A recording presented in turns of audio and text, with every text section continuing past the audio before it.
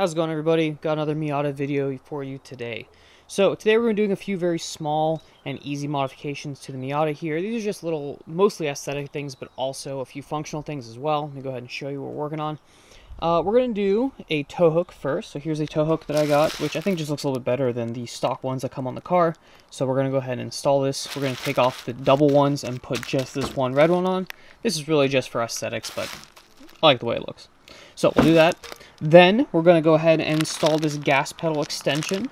Uh, the stock gas pedal is a little far uh, from the brake for good heel toe downshifting. Uh, it can be done, but I find that my legs always are kind of in an awkward position in order for me to get a good heel toe.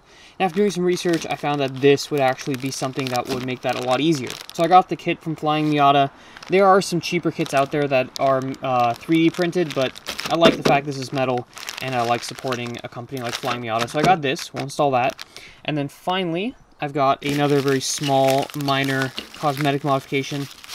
I've got these sun visor block off or delete plates. I'm going to go ahead and delete the sun visors because uh, they're kind of ugly and they don't really serve any purpose in the Miata. So let's go ahead and get started. We're going to start off with the tow hook first, then we're going to do the uh, gas pedal extension, and then we'll finish up with the easiest one, which is these little block off plates. So let's get going.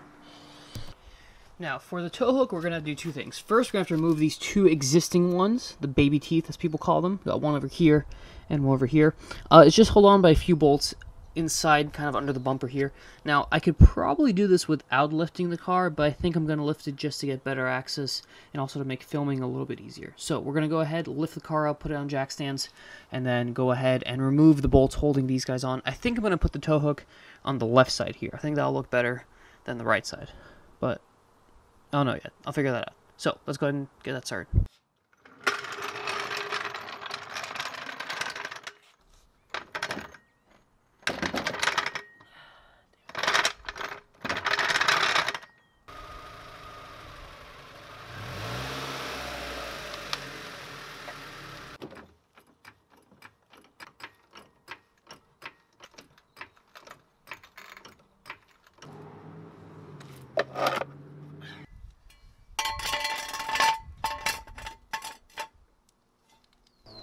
Alright guys, quick PSA.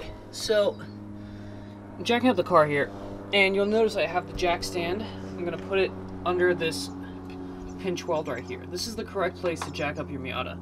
You don't want to jack up the Miata using these frame rails right over here. Okay, these are not good jack points. As you can see, they're very hollow and thin.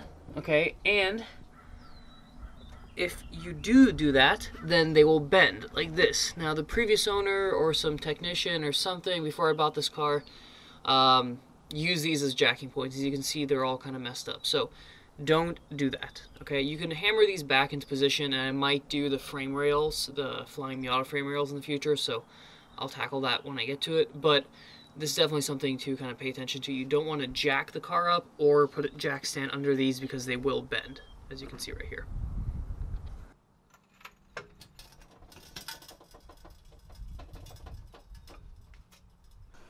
Alright, so now we have the car lifted up, and if you look behind the bumper, inside this kind of fender liner here, I kind of finagle the camera there, there we go, right in there, right in here, this right here, that is the inside of the um, tow hook. So we're going to have to remove those, there's two bolts there and one on the other side, you can't really see it from here, but it's, it's there.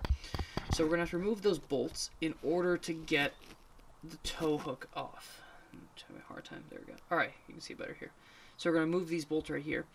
Now, I can probably reach them from here. I might want to loosen up this fender liner right here to give myself a little bit more access, but I'm going to try doing it without that first to see if I can get in there. So let's go ahead and do that now.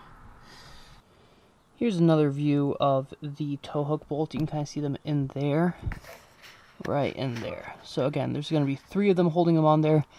I'm trying to figure out what's the best way to attack them. I might be able to attack these front two with a wrench, with an open end wrench or a box wrench, and then take the last one from inside. So let's see what works best.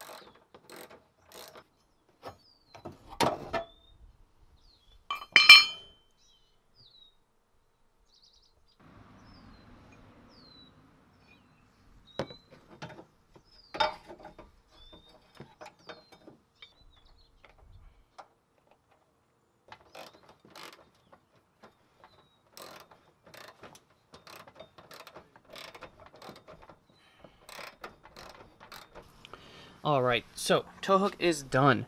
Now that was um, easy, just a little fiddly. You have to kind of really get under there and get your hands in the in the right locations or the right positions to get the bolts out and back in. I had to use a mixture of a ratchet and sockets and the open end ratcheting wrenches. Those made it a lot easier.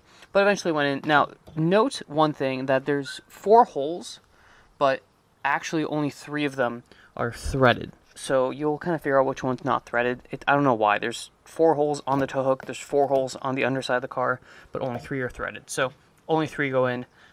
Torque them down, nice and snug. Now let's move on to the accelerator extension.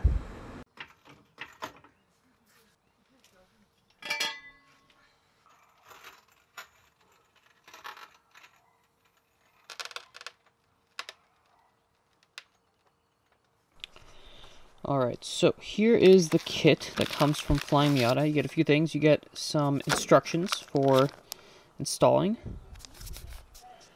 Center punch, drill bit, okay. You get your extension.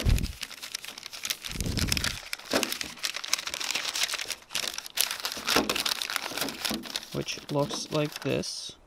It's uh, made of aluminum, nice and light and shiny. And then you get this little hardware kit here, which we'll use to install it. As you can see here, this is a really nicely machined piece. There were a few other options uh, that were made out of 3D printed materials, but uh, as I'll show in another video, I actually prefer this for a couple of reasons. Install is pretty easy. You take a 9mm, either wrench or socket to hold the nut behind the bolt, slide the bolt through, tighten the nut, finger tight, and then you'll go around and tighten it down fully using the included hex key as well as your wrench behind where the, uh, the bolt is. Once you get it all tightened up, you are good to go.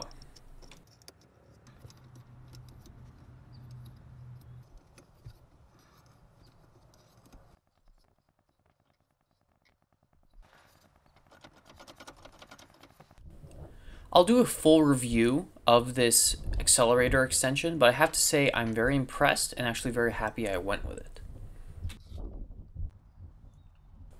The sun visor delete is even easier. All we got to do is lower our sun visor, locate the two screws that hold in the sun visor plate and the sun visor. We'll unscrew those and then put in our new 3D printed sun visor delete block off plates. Very simple, took about three minutes.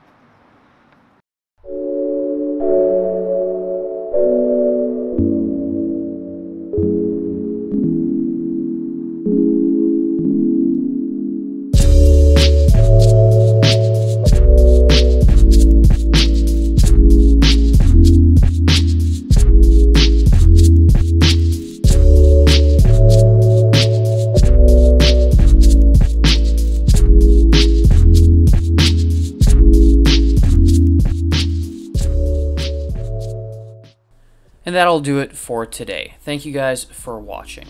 I think for my next major project, I'll be tackling the soft top. As you can see, it's definitely seen some better days. So I'm still deciding what top to get, but I'll be doing that in the near future. Thank you guys for watching. Please subscribe if you've not done so yet, and I'll catch you next time.